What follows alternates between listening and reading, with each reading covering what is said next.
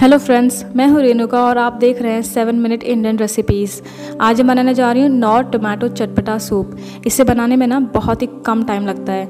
ये पाँच मिनट के अंदर आराम से बन जाता है. तो चलिए शुरू करते हैं. इसे बनाने के लिए ना मैंने एक बर्तन में एक कप पानी ले लिया है. अब मैं इसके उबलने तक का वेट करूँगी. आप देख सकते हैं कि पानी में उबाल आ चुका है. अब मैं ना नौ टमाटो चटपटा सूप का जो पैकेट है, उसे काट के ना एक बाउल में ट्रांसफ़र कर लूँगी।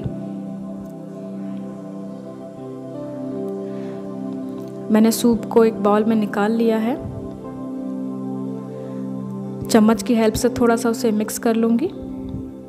अब मैं इसमें गर्म पानी डाल रही हूँ, मैं थोड़ा थोड़ा करके पानी डालूँगी।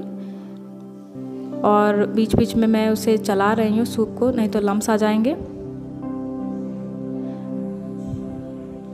और इसे दो तीन मिनट के लिए रेस्ट के लिए छोड़ देंगे हम।